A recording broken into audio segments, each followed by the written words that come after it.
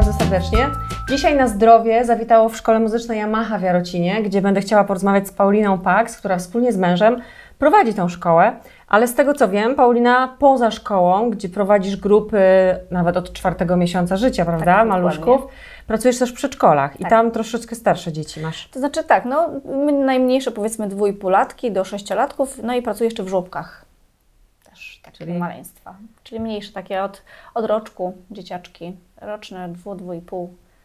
E, zacznę od tego, że podobno od 26 tygodnia ciąży e, nasze dziecko w brzuchu już wychwytuje rytm e, i dźwięki i wtedy warto zacząć przygodę z muzyką, e, ale jakim rodzajem muzyki? Bo rozumiem, że nie każda muzyka jest wskazana, Tak. żeby rozwijało się nam dziecko brzuchu. Tak, dziecko już właśnie mniej więcej około 26 roku życia, y, miesiąca życia, przepraszam, e, słyszy w zasadzie tak jak dorosły. E, I ważne jest to, co serwujemy dziecku, bo mając świadomość, że to, co dziecko słyszy, wpływa na y, rozwój jego inteligencji w ogóle em- emocjonalny, no to warto też zastanowić się, co temu dziecku mm, jakby zapodajemy, tak? co ono usłyszy z tego naszego świata zewnętrznego. Dobrze jest, żeby ta muzyka była na takich wysokich częstotliwościach, ponieważ y, w przeciwieństwie, czyli taka muzyka taka y, pełna hałasu, mm, o niskich, o niskich częstotliwościach, co mamy na przykład w muzyce heavy metalowej. E, Wszystko to powoduje, że dziecko niestety no, nie czuje się dobrze, emocjonalnie nie, czuje, nie odbiera tego dobrze. A przeciwieństwem tutaj mamy muzykę o wysokiej częstotliwości, która wpływa bardzo dobrze na, rozwój i inteligencji dziecka, na rozwój jego umysłu, na e, rozwój jego słuchu, co też jest bardzo ważne, no i generalnie na taki stan mm, relaksacyjny. Bardzo dobrze działa taka muzyka klasyczna, tak? Yy, Możemy tutaj sięgnąć do Mozarta albo do muzyki barokowej, czyli Vivaldiego, Bacha i Händla. To o tym Leszek Możdżer też e, słyszałam kiedyś w wywiadzie, właśnie podkreślał to, żeby serwować właśnie maleńkim dzieciom w brzuchu jeszcze będącym muzykę klasyczną, bo w niej dużo jest, dużo jest dobrego. E, powiedz mi, z racji tego, że uczysz dzieci w różnym wieku, zauważyłaś, że na przykład młodsze dzieci łatwiej e, nawiązują kontakt z muzyką, czy starsze lepiej, czy lepiej starsze na przykład z rytmem? Są jakieś różnice? Widzisz to? Yy, Wiesz co, generalnie dzieci bardzo lubią muzykę i wszelkie działania muzyczne są dla nich po prostu zawsze super. Yy, Jak bierzemy instrumenty do grania, to już w ogóle jest wow, oni mogliby w zasadzie grać cały czas. Także yy, chętnie jej słuchają i chętnie w niej uczestniczą, chętnie działają również yy, na przykład poprzez granie na instrumentach, czy poprzez wszelkiego rodzaju ruch, taniec, zabawę przy muzyce. Wszystko jest dla dzieci bardzo fajne, one czerpią z tego ogromną radość, sam, same podskoki po prostu powodują, y, że one po prostu się cieszą. Samo na przykład y, robimy sobie maszerowanie, maszerowanie bieganie na, pal, na palcach, czy, czy chodzenie na piętach. No, chodzenie na piętach wzbudza taką y, euforię, jeszcze jak robię to w ten sposób, że zaczynamy sobie w jakimś tam tempie, ja im to po prostu przyspieszam. No jest taka zabawa, że w życiu bym nie pomyślała, że tyle radości można czerpać z chodzenia na, na piętach, no ale tak to jest. Pytałaś o to, jak. Jak w różnym wieku W różnym dzieci wieku, tak, reagują, czy na różne rodzaje muzyki, czy bardziej lubią rytm. I mnie też ciekawią te zajęcia z tymi maluszkami, tymi Mhm. czteromiesięcznymi. Jak to wygląda w ogóle? y, Dla tych maleństw to są takie to są zajęcia, gdzie bardziej jakby ja pokazuję, co się dzieje. Tutaj mamy foczkę i ja tą foczką pokazuję mamom, co mniej więcej mamy robić z dziećmi. On to jest taka pacynka, ona tutaj się z nami wita i, i gra też na instrumentach, trzyma różne pałeczki, grzechotki, tamburynka i tak dalej. I razem z nią tutaj się bawimy. E, Natomiast y, no, dzieciom pomagają mamy. E, Ale generalnie te zajęcia są takie, mm, takie spokojne dla mnie. Ja pamiętam swego czasu miałam taki jakiś czas szalony jednego dnia, to ileś tam czasu wstecz e, i miałam taką no, sześcioosobową, sześcioosobową grupę e, niemowlaczków i ja pamiętam, że po prostu zamknęłam drzwi tutaj od tej sali, weszłam i po prostu tak wszystko ze mnie spłynęło, bo ja wiedziałam, że, że teraz to, co będzie, to wszystko będzie oparte na takim flow, że to wszystko tak popłynie, że to będzie... Pff, Czyli ty musiałaś przygotować się do tego, żeby, żeby to tak mogło popłynąć. Znaczy, żeby... te, te zajęcia generalnie mają taką, wiesz, taki spokój w sobie, bo tam jest piękna aranżacja, one są króciutkie te piosenki dla, dla niemowlaczków, ale one są w pięknych aranżacjach, takie nastrojowe, niektóre troszeczkę bardziej żywe, e, ale sam, sam, same te zajęcia, one tutaj jakoś mają taką, taki klimat, ja to przynajmniej tak czuję, że one takie są, tak płyną, taka jest lekkość tutaj. Natomiast jak mam zajęcia już troszkę dla starszych tych szkrabów, one po, po prostu potrzebują, już mają tak naturze, że potrzebują więcej ruchu, no to na tych zajęciach się dzieje i generalnie tutaj okno musi być otwarte, bo tu jest dużo ruchu, dużo różnych zmian i, i, i cały czas jakieś właśnie rzeczy mm, zmieniające się, żeby dzieci się nie nudziły, żeby się zainteresowały, żeby chciały tutaj przychodzić i z nami tutaj e, współpracować.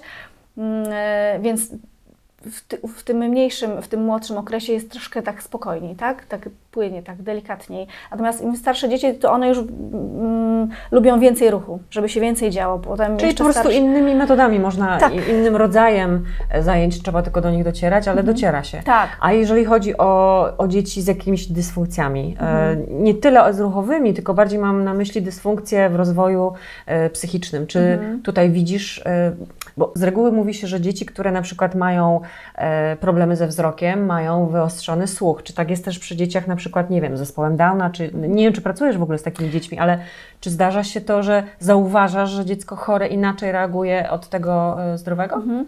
Y, na pewno i jest to też, mm, mm, na pewno ma to związek z rodzajem tej dysfunkcji, jak bardzo jest powiedzmy ta choroba zaawansowana, zaawansowana czy jak, jak głęboka, tak? Ale y, rytmicznie na przykład y, te dzieci pięknie reagują, one, one chętnie grają, pięknie naśladują. Y, uważam, że tak mnie się wydaje, że one po prostu chętnie przychodzą na zajęcia i chętnie uczestniczą. Kiedyś miałyśmy grupę mam y, y, dzieci z zespołem Downa, które byłyśmy tylko same tutaj. A teraz już dzieci uczestniczą normalnie z, z grupą taką, y, dzieci w tym samym wieku, w grupie w tej samej mieszana wieku, grupa. mieszanym, tak.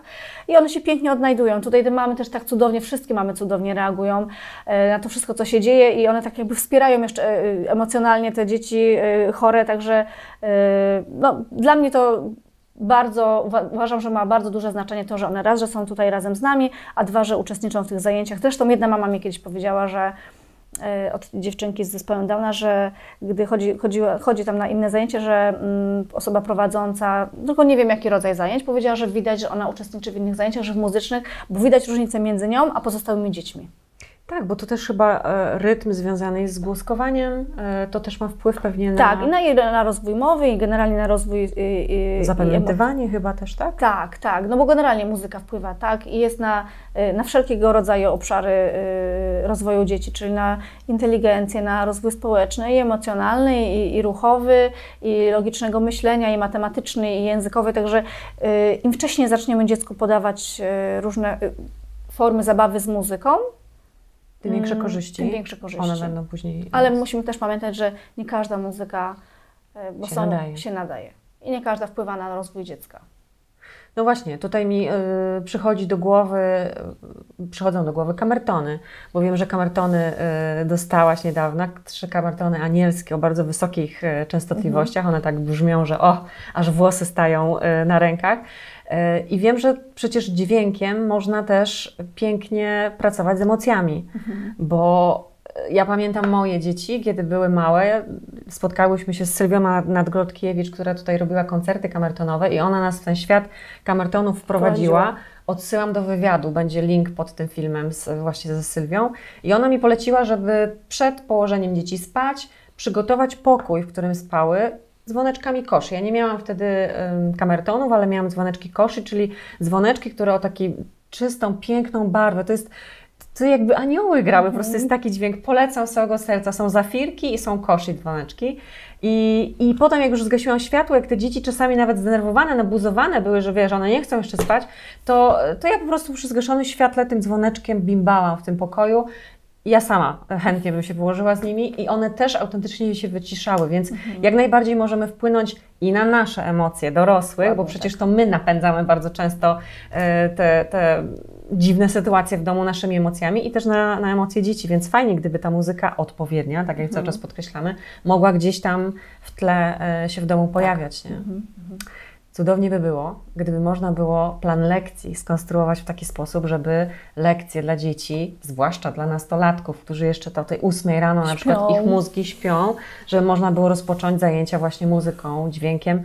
W naszej szkole, w Akademii Dobrej Edukacji e, w zeszłym roku czy dwa lata temu właśnie moi chłopcy zaczynali lekcją muzyki i burzyli się oczywiście, bo oni są, to są faceci, gdzie jakieś tańce, ale e, wiem, że to bardzo kojąco na te dzieci działało i, i sprawiało, że one potem chętniej zasiadały do tego już później Mhm. polskiego, matematyki, do tych przedmiotów, które wymagały jakiejś tam więcej koncentracji, Tak. większej koncentracji. Bo jak, jak właśnie mamy tą świadomość, że możemy muzyką troszkę jakby sterować, tak? że możemy albo dzieci wyciszyć emocjonalnie, tak jak opowiadałaś o, o swoich chłopcach, e, albo możemy im wpłynąć na, wpływać na to, że mm, e, łatwiej jest im mm, zdobywać, zapamiętywać wiedzę, bo na przykład do tego służy muzyka e, klasyczna, na przykład Mozart, więc y, gdybyśmy mieli to chociaż troszkę tej świadomości, tej wiedzy, y, że można po prostu tak, tak prostym sposobem dzieciom troszkę pomóc, tak? Czy właśnie gdy oni są już tacy senni, to żeby ich zaktywizować jakimś tam tańcem, czy jakąś taką y,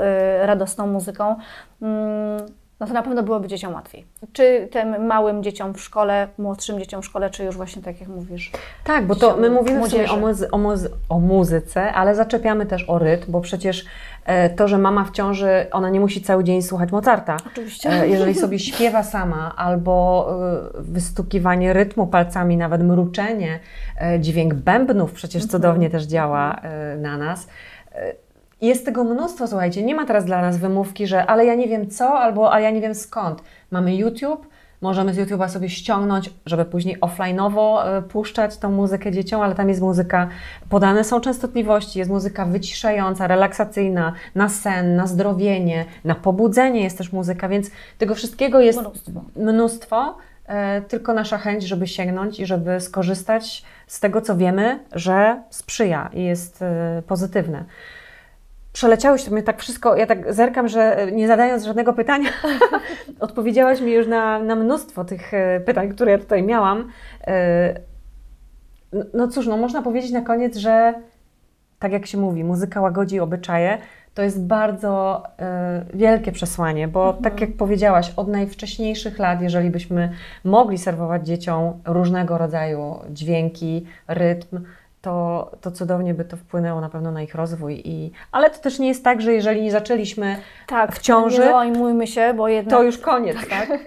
dzieci się rozwijają cały czas i nawet jak zaczną troszkę później, to też y, najważniejsze, żeby spróbowały. Ja też mam taką obserwację, że czasami przychodzą do nas dzieci na zajęcia i to też takie przedszkolne i dzieci, gdzie pani y, nauczycielka jednak ma coś wspólnego, jakby, czy może niekoniecznie wykształ- wykształcenie muzyczne, ale jakby stawia troszeczkę na tą muzykę y, na zajęciach, to naprawdę one zupełnie inaczej funkcjonują. One zupełnie inaczej odbierają y, wszelkiego rodzaju bodźce, te rzeczy, które robimy sobie na zajęciach, takich tych gdy dzieci przychodzą. E, One są bardziej jakby otwarte, takie luźniejsze. e, Łatwiej jest im to wszystko, co my tam im proponujemy, jakby zrealizować. E, Także naprawdę widać, że, że, że mamy ten kontakt z muzyką i że ta muzyka naprawdę działa, że ona po prostu wpływa na rozwój, tak jak mówiłyśmy, nie? że inteligencji, i emocji, i, i, i wszel- wszelkich innych obszarów. Jeszcze powiem, że mm, dobrze jest, y, dobrze jest, gdy dzieci, jeżeli mamy taką możliwość, chęć, że jednak grają na instrumentach. Wiadomo, że te dzieci młodsze, one grają na prostych, y, perkusyjnych, mm, jako akompaniament, tak? Tworzymy muzykę w formie akompaniamentów, y, w formie ruchu, zabawy, tańców i tak. Natomiast gdy dzieci już zaczynają grać na instrumentach klawiszowych, to tam w ogóle po prostu niestety tego jakby nie widzimy, ale aktywizuje się cały mózg. Więc y, cały ten proces odczytywania y, nut, przekładania ich na klawiaturę, grania prawą, lewą ręką, czy to na gitarze, czy na jakichś innych instrumentach, czy na klawiszach, mm, jest bardzo rozwojowy, bardzo pobudza komórki nerwowe, y, komórki mózgowe do działania i ludzie, którzy zajmują się muzyką, nawet w starszym wieku, są bardziej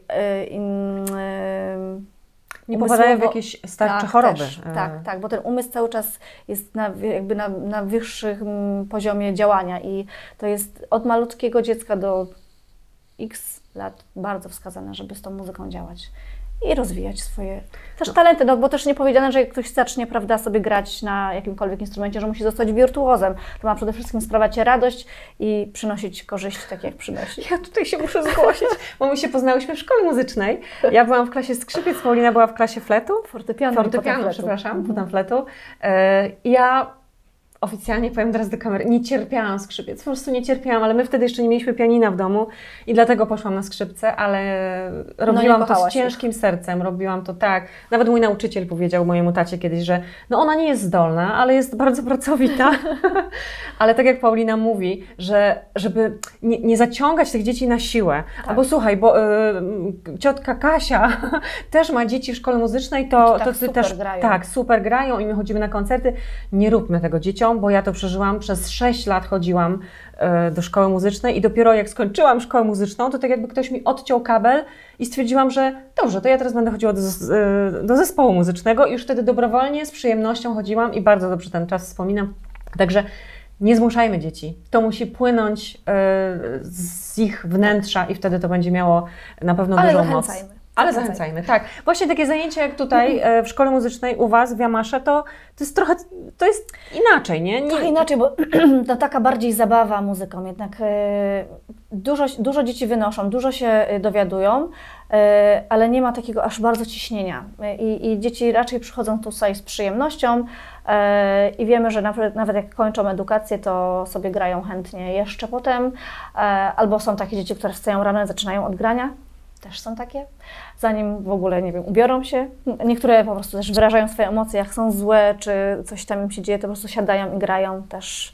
Więc y, Dobrze, żeby dać e, szansę też dzieciom, mm, żeby te emocje mogły e, Wypłynąć. wypłynąć. tak, jeżeli dokładnie. albo też jeżeli widzimy, że dziecko, no już powiedzmy starszy, dziewięciolatek, y, ośmiolatek sięga y, gdzieś po mamy garnki i, i bębni, no to znak, że może jednak ten rytm bardzo jest w nim gdzieś głęboko i, i może pogra. Jak ktoś gra na czymkolwiek, udaje gitarę, no to może ta gitara jednak. Także gdzieś też słuchajmy dzieci, y, to co, to, co im Z nich leży. płynie, tak. to mm, moja siostra grała na gitarze, ja gitary tak nigdy próbowałam kiedyś, ale też ta gitara nigdy tak nie. Natomiast fortepian bardzo mi leżał i, I do tej pory też. grasz. Mm.